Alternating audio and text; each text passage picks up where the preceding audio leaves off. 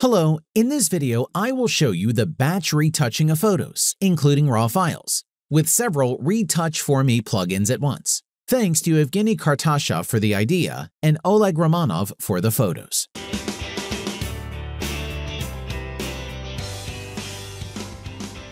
I have a series of photos opened in Adobe Bridge, and it is not by accident. I will launch from Adobe Bridge an action that will alternately apply Retouch4me Heal and Retouch4me Dodge and Burn plugins to raw files.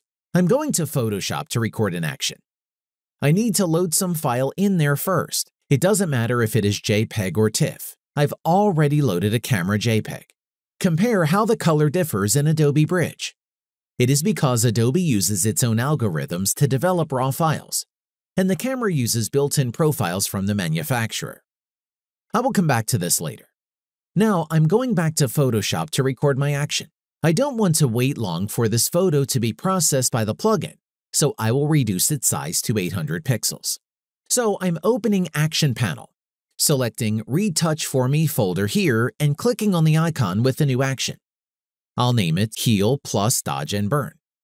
The recording has started. I'm launching Retouch4me Heal plugin through Filters menu. I'm leaving the settings as they are and clicking Apply. Done.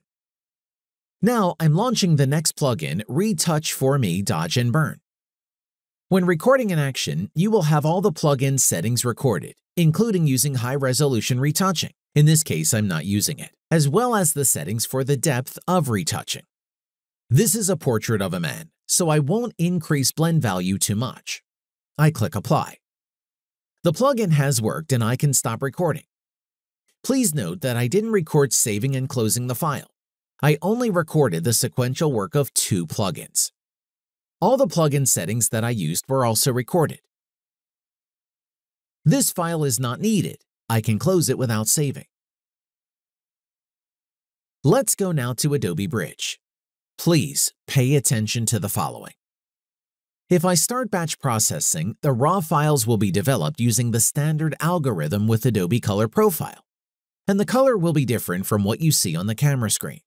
Also, the exposure changes from shot to shot, so it would be nice to adjust it. The most convenient way to do this is to use Lightroom. Here is the series in Lightroom. I've already adjusted exposure, increased sharpness, to get the color I need, I used Camera Standard Profile. How do I import these settings to Adobe Bridge? I'm selecting all the files and choosing Metadata, Save Metadata to Files. I click Continue. I'm opening Bridge and it automatically reads them. It doesn't even need to be restarted. If you open the folder with the originals, there will be XMP files with my development settings. So now I'm ready to start batch retouching. I'm selecting all the photos, going to Menu Tools, Photoshop, and selecting Image Processor. In the opened window, you can select the location to save the files. I will save them in the same folder as the originals. I will choose JPEG format. I will even reduce the quality.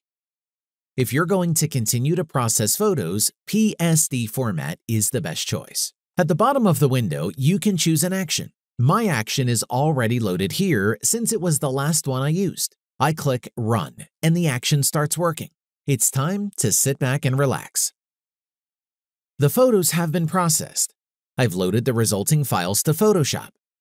I will compare retouched photos to the exported variants from Lightroom so it will be more honest.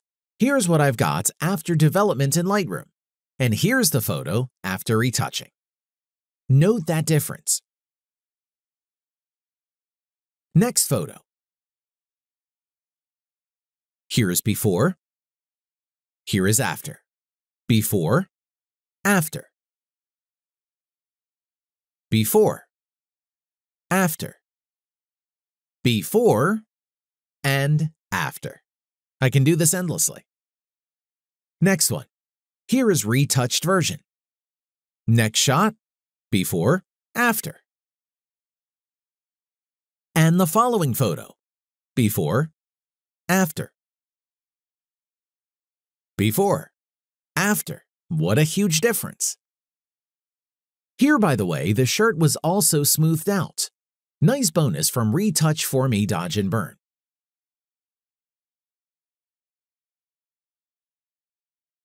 Pay attention to the shirt in this photo. Retouch4me Dodge and Burn plugin also improved it. It turned out so cool as if it was ironed out. But in this case, it happened at production stage after the shooting. And here is the last frame. Before, after. Fully, automatic.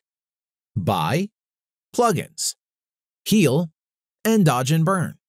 RAW files, and JPEGs. Basically, you can apply this matching method to any format that Bridge supports. The action is not tied to anything.